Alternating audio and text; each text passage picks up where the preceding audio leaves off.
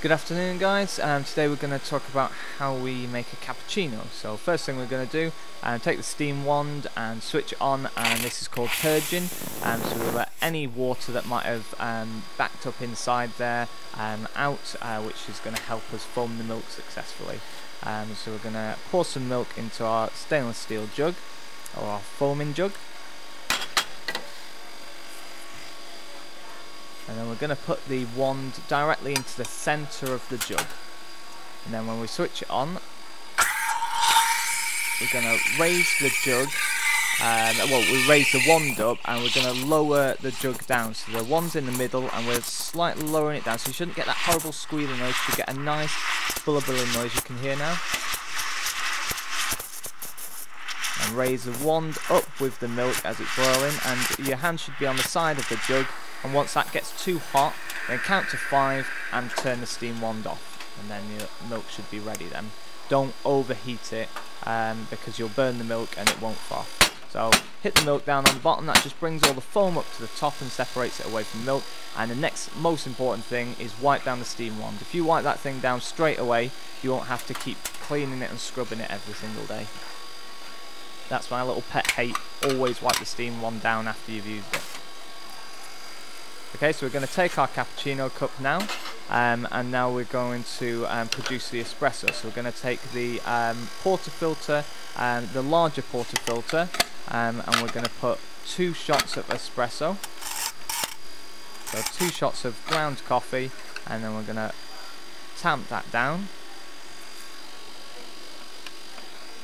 Sorry, I can't film and tamp at the same time. So then what we're going to do is we're going to tap both sides of it, tap them little ears, um, and then tamp that down again. And that should give us a nice, smooth um, ground coffee there. Pop that back in. And then we're going to press the cappuccino, so the double espresso button there, just right on the end. And then we should get a nice flow of um, espresso coming out. And you should see a crema start to form on top of the um, espresso as well. There, you can see that there, nice crema on top. And for a cappuccino, we're going with a third coffee, a third milk, and a third foam. Um, I'm making this with one hand at the moment whilst filming, so uh, let's hope that we uh, we can get this looking good. So as always, we've got the a large saucer and a black napkin. Um, we've got the amaretti biscuit down a teaspoon, and the espresso should be finished soon.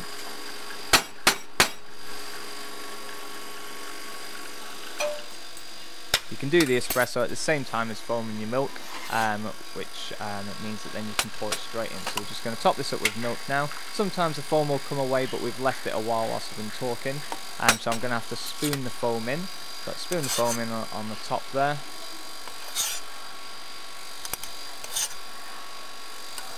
And what we're aiming for is that lovely crema um, around the outside of the cappuccino. That lovely brown ring around the outside which gives the cappuccino its name. Top it up with a bit more milk there. And obviously we're going to um, garnish it off with um, some hot chocolate powder on the top. So pop that on the plate. And a bit of hot chocolate powder. Brilliant. There. There we go, and that's how the cappuccinos should be served all the time. So we're just going to have a look at the till here.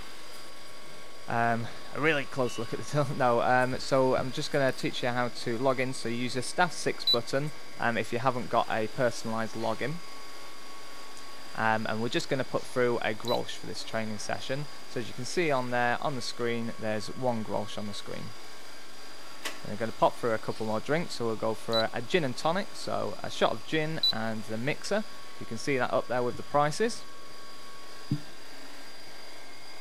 We're going to go with some food as well, so we're going to go with the bar snacks, and using the touch screen, you're going to pop a soup on there, and uh, fish and chips.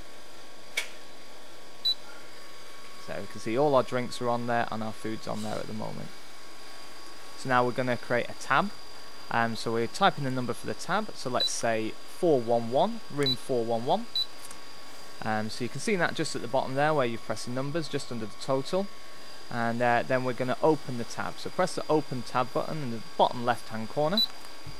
And that's moved now from where it was underneath the total and it's created a tab at the top that says tab number 411 so that's room 411 now we're going to save this tab to print it off to allow the customer to sign on the tab to sign it back to their room So now we're going to open the tab back up again to say the customer's signed it on the bottom um, and now we're going to we've got to charge that because we've left it on the till now. So we've got to go back in staff 6 again.